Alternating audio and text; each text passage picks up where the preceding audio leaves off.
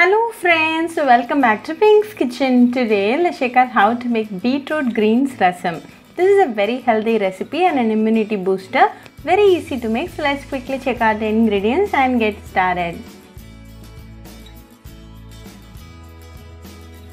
To a mortar and pestle add a teaspoon of peppercorns and 1 teaspoon of jeera. Grind this to a fine powder.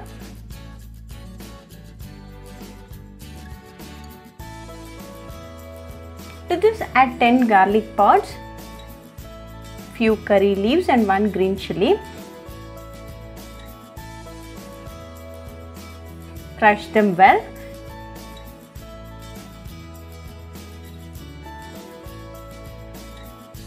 Keep this ready. Now let's start the preparation. Heat a mud pot and to this add a teaspoon of oil.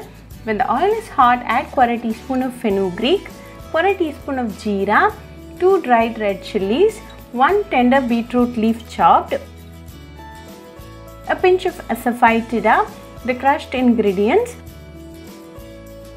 2 ripe tomatoes finely chopped, a teaspoon of salt and quarter teaspoon of turmeric powder. Mix it well until the tomato turns mashy.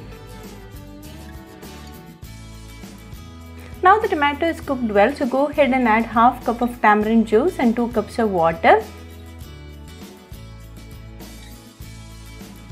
Mix it well, allow it to come to a boil.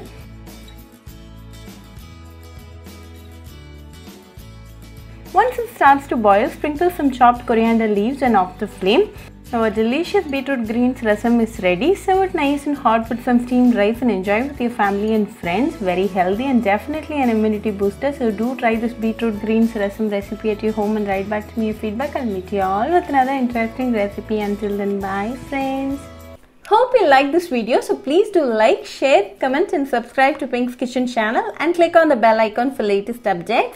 If you wish to check out our recipes in Tamil, you can visit Pink's Kitchen Tamil channel. I'll be giving the channel link in the description box. Happy cooking and thanks for watching this video. I'll meet you all with another interesting recipe. Until then, bye friends.